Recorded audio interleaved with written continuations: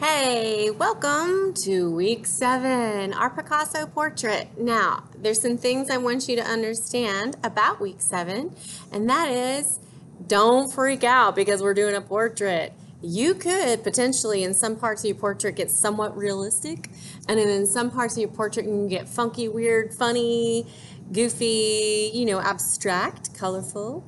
Um, combination of both, more realistic, more abstract. This is a great project because it, you can really decide which route to go with it. All right. Um, so it's so fun, and I always love what my students end up making. Um, and I hope that you enjoy this. Now, I do want to challenge you. I've noticed some of you rush a little bit and you make your rough draft into your final. I don't want you to do that this week. I want you to have a separate final and a separate rough draft. Why? Because in my two decades of teaching art students, I know without a shadow of a doubt that when we have a final and a rough draft, that there's a huge growth and improvement between the final and the rough draft. Now, when you do your rough draft, you can keep in mind that it's not the final, so don't spend a million years on it, all right?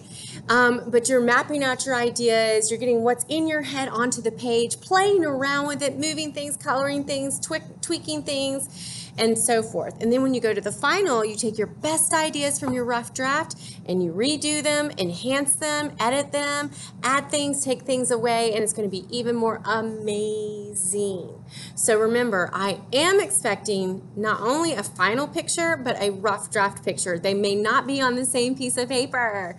This is for technical reasons of creativity. There's actually technical things to go with creativity. You technically need to have a different visual rough draft than a final so that you can have some real growth. All right. Um, yeah. So that's, I think that's the basic of what I want to tell you. I can't wait to see your work. The last time I did this, I mean, I laughed, I smiled, I was impressed. Again, if you can make me giggle or be impressed with your skills, then thank you. That's the fun part of being an art teacher. All right, guys, let's do it.